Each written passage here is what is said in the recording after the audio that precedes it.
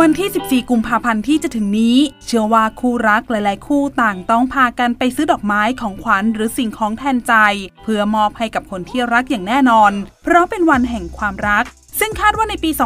2566 นี้ตามสถานที่ท่องเที่ยวต่างๆ นั้นจะกลับมาคึกคัก เนื่องด้วยสถานการณ์โควิด -19 นั้นดีขึ้นตามลำดับ แต่ก็ยังคงมีมาตรการเฝ้าระวังอย่างต่อเนื่องสำนักข่าว INN ได้สัมภาษณ์พิเศษ นางสาวภูมารินคงเพียงธรรมในอำเภอภูเรือจังหวัดเลย โดยบอกว่าในวันที่ 14 กุมภาพันธ์นี้ ทางสำนักทะเบียนจังหวัดให้บริการปกติ โดยจะมีการมอบรางวัลของขวัญให้กับคู่สมรสที่มาจดทะเบียนสมรสในวันแห่งความรัก ซึ่งมีสโลแกนว่า รักไม่มีข้อแม้ รักแท้ที่ภูเรือ พร้อมตกแต่งสถานที่ให้สวยงามในทุกอำเภอ โดยต่อเนื่องมาจากเทศกาลปีใหม่ที่ผ่านมาด้วย ซึ่งคาดว่าปีนี้จะมีคู่รักและประชาชนมาท่องเที่ยวถ่ายรูปเซลฟี่กันอย่างคึกคัก ซึ่งพื้นที่นั้นก็ยังคงมีอากาศหนาวเย็นต่อเนื่อง ซึ่งจะส่งผลดีต่อดอกกุหลาบเป็นอย่างดี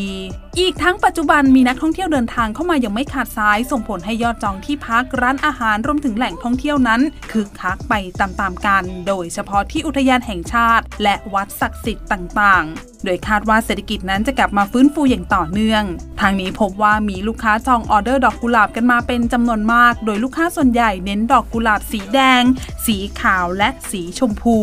ส่วนบรรยากาศในเมืองหลวงอย่างกรุงเทพมหานครนั้นก็เริ่มคึกคักด้วยเช่นกัน เพราะในเดือนกุมภาพันธ์เดือนแห่งความรัก มีประชาชนสายมูเตลู ไปไหว้ขอพรพระตรีมุรติ เทพแห่งความรักที่เซ็นทรัลเวิลด์ รวมถึงบริเวณตึกเกสรก็มีคนโสดแห่ต่อคิวไหว้ขอพรพระแม่ลักษมี ที่ห้างเกสรพลาซ่ากันอย่างมากมายด้วย ขณะบริเวณปากคลองตลาด ซึ่งเป็นแหล่งรวมร้านดอกไม้สดที่มากที่สุดในกรุงเทพหรือในประเทศเลยก็ว่าได้ ทำให้สามารถเลือกซื้อได้ตามสะดวก อีกทั้งยังเดินทางง่ายและสะดวกด้วย ดังนั้นจึงรวบรวมสถานที่จัดกิจกรรมวาเลนไทน์ปี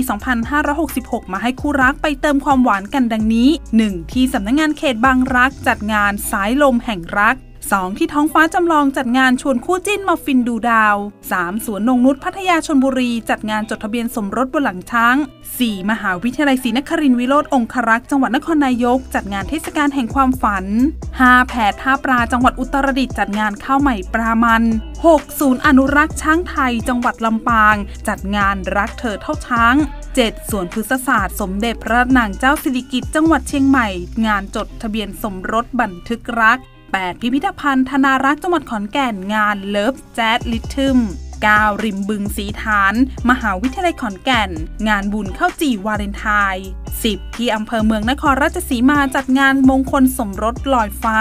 11 อำเภอชะอวด จังหวัดนครศรีธรรมราชจัดงาน ลานรักละมุน ทางนี้ข้อมูลนี้อาจจะมีการเปลี่ยนแปลงก็ต้องตรวจสอบอีกครั้งต่อไป อย่างไรก็ตามพบว่าขณะนี้หลายพื้นที่ต่างเตรียมจัดงานตกแต่งสถานที่ จัดส่งออเดอร์ดอกไม้ พร้อมกิจกรรมสุดพิเศษเอาใจคู่รักที่มาจดทะเบียนสมรสลุ้นรับของรางวัลในวันแห่งความรัก 14 กุมภาพันธ์นี้อีกด้วย